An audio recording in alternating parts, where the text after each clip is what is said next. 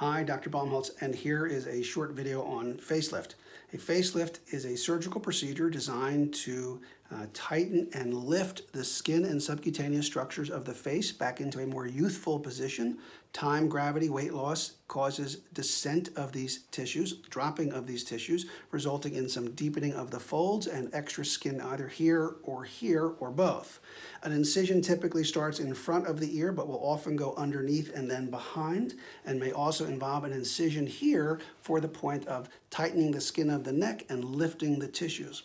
Well, that's a short version on facelifts. Thank you very much.